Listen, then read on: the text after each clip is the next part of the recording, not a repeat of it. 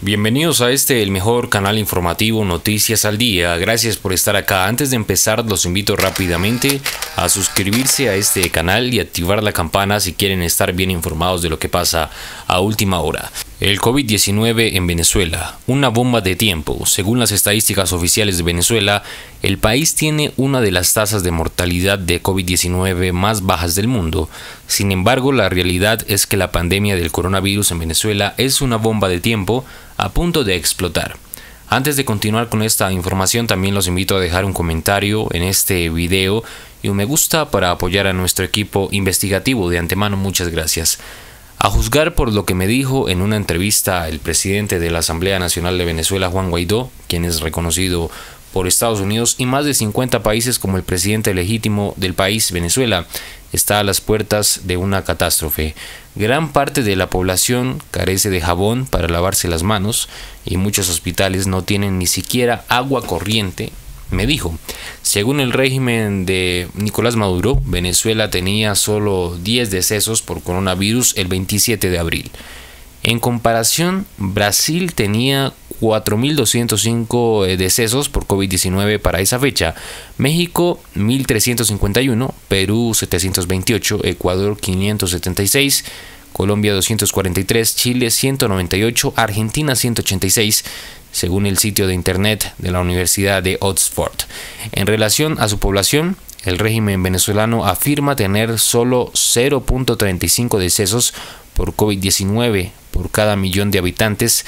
En comparación, Brasil tiene 21 decesos por COVID-19 por millón de habitantes, México 11 y Argentina 4.3 según la universidad.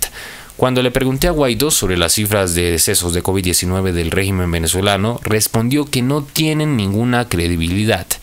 Guaidó admitió que al igual que Corea del Norte o Cuba, Venezuela tenía la ventaja relativa de estar prácticamente aislada del resto del mundo cuando comenzó la pandemia. Ya antes de la pandemia, los vuelos internacionales a Venezuela ya se habían desplomado a un 10% de los que habían hace dos o tres años. Me dijo, asimismo, la escasez generalizada de gasolina en Venezuela ha detenido casi por completo los viajes dentro del país, lo que podría haber ralentizado la transmisión del virus. Increíblemente, Venezuela tiene las mayores reservas del petróleo del mundo pero tras dos décadas de populismo radical se ha destruido la industria petrolera y ya no hay ni gasolina en el país. Pero cualesquiera que sean las cifras reales de excesos de COVID, existen razones poderosas para temer un gran desastre humanitario, dijo Juan Guaidó. Primero, la mayoría de los venezolanos carece de agua corriente y jabón, los ingredientes básicos para lavarse las manos que son esenciales para detener la propagación del virus. Según una encuesta de la Asamblea Nacional del 26 de abril, el 78% de los venezolanos no recibe agua de manera regular. En segundo lugar, los hospitales están semidestruidos. Un 47% de los hospitales de Venezuela no tienen agua corriente continua y casi el 80% de los hospitales no tienen suficiente jabón, dijo Juan Guaidó. Es el principal hospital pediátrico de Venezuela, ubicado en Caracas. Estuvo nueve horas sin luz. Las enfermeras no tienen cómo llegar a sus puestos de trabajo porque no hay gasolina ni transporte público. Tercero, Venezuela realiza solo 100 pruebas de coronavirus por día, lo cual es casi nada, señaló Guaidó. Y en todo el país hay solo alrededor de 300 ventiladores, de los cuales solo 83 están en hospitales estatales. Si el COVID-19 se extiende en Venezuela, saturará casi de inmediato el sistema de salud, me dijo Juan Guaidó. Ahora más que nunca, Venezuela necesita un gobierno de transición para restaurar la democracia y abrir las puertas a la ayuda internacional, porque la mayoría de los principales países no querrán eh, enviar dinero a una dictadura corrupta, agregó. Mi conclusión, después de hablar con Guaidó y otros venezolanos, es que la dictadura de Maduro probablemente no cuenta eh, muchos decesos por COVID-19 y las clasifica como causadas por neumonía u otras enfermedades. También es probable que COVID-19 haya sido más lento en llegar a Venezuela debido a su aislamiento externo e interno.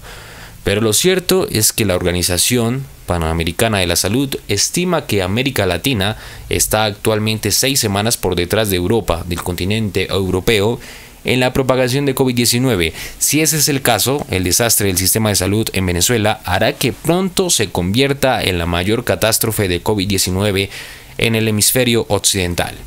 ¿Qué opinan de esta información? Nuevamente los invito a suscribirse, activar la campana de notificaciones si quieren estar bien informados de lo que pasa a última hora. Compartir a través de redes sociales también es muy importante para hacer viral toda esta información. Es muy importante que esto lo sepa el mundo. Recuerden comentar y dejar un me gusta. Gracias por estar acá. Esto es Noticias al Día.